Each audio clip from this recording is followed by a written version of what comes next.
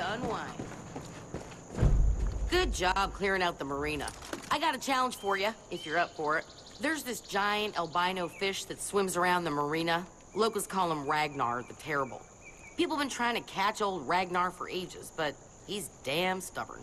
He likes to hang out by that little island over yonder. It'd be good for morale if someone finally caught him.